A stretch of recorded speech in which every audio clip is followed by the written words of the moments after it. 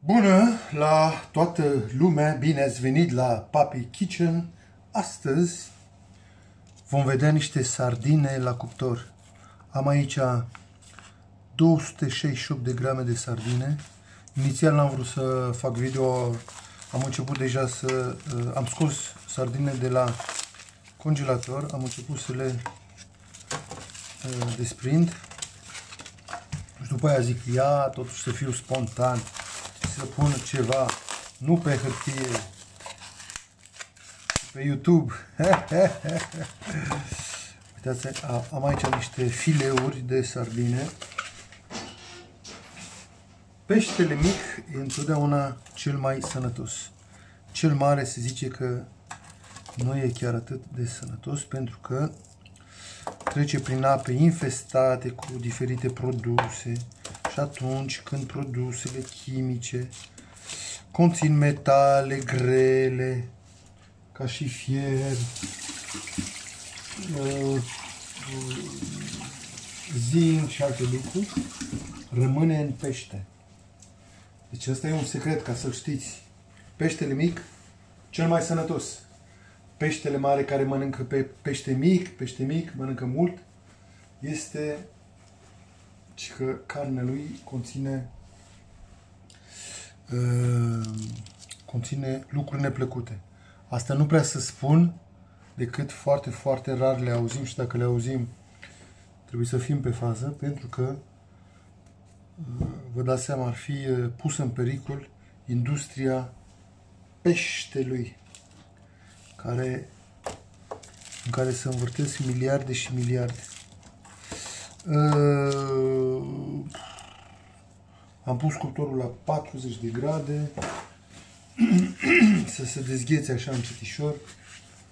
Sincer să fiu, uh, încerc să-mi imaginez ce aș putea pune peste ele, cu toate că dacă uh, nu punem nimic, ele vor ieși la fel de gustoase. Totuși, niște ulei de măsline, asta e baza Stupim așa cu puțin ulei de măsline. Nici prea mult, nici prea puțin. Ia uitați. După aceea vom vedea ce vom pune pe lângă să le mâncăm. 5 pentru o persoană, 5 pentru cealaltă persoană. 100 de grame de pește la o masă ajunge pentru calitate și în calitatea nutrițională, eu zic să vă uitați pe internet să vedeți ce ce ce au. Și totuși m-am gândit să fac o mică experiență pentru gustul personal nu și cel al soției, că mie îmi place mai mult piperat și condimentat. O să separ așa în două rânduri. ok. O să separ în două rânduri și o să fac un test.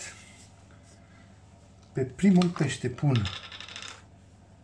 uh, ardei iute de espelet, să numește. Un ardei care se face în, în Catalonia, nu, în, în țara bască, pardon, și în uh, partea de vest a Franței, care e frontalieră cu Spania. Este un ardei care costă foarte scump și care nu este nici atât de tare, dar nici prea moare. Uh, deci am pus ardei de asta. Dar are particularitatea de a scoate parfumurile din alimente și a le le face să se îmbine foarte bine. Uh, usturoi, piper, pardon, și, și sare pe al doilea. Am cumpărat niște epistandori și o să pun așa pe asta, uite așa. Și asta sunt foarte iute. Ok. Niște curcuma pe al patrulea. Uite așa. Și pe al cincilea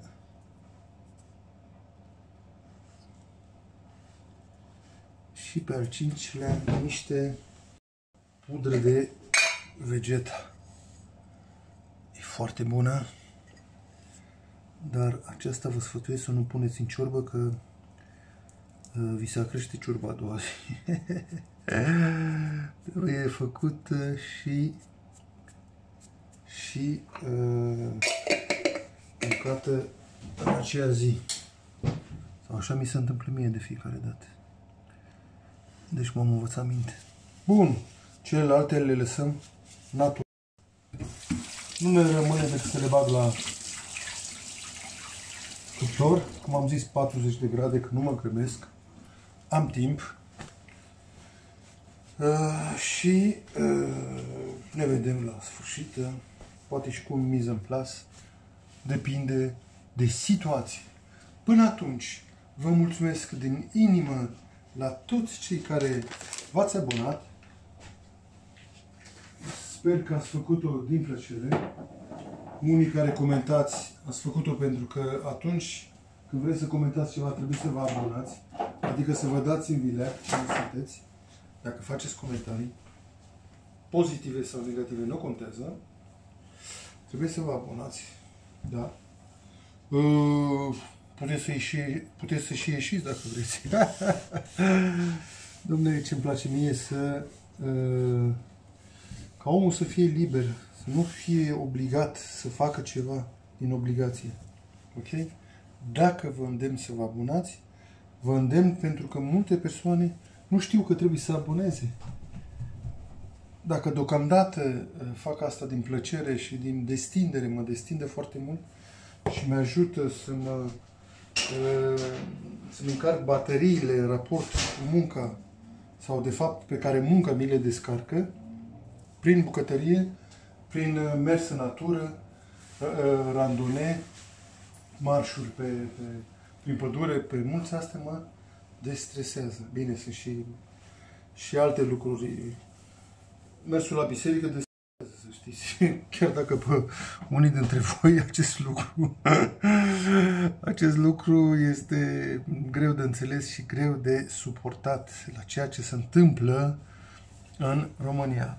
Am uh, norocul și mulțumesc lui Dumnezeu că soarta m-a făcut să mă împingă pe aici prin uh, Franța și am descoperit altfel, altă lume aici, altă, altfel în Occident aici se, de, se, se descopere altfel. E, nu, e, nu e același lucru ca în România. Ok? Deci te responsabilizează pe tine însuți.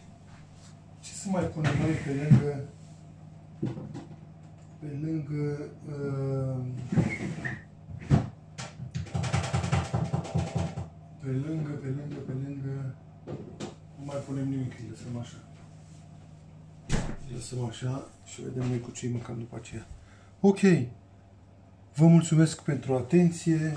Da, am abordat un pic uh, acest subiect cu, cu religia.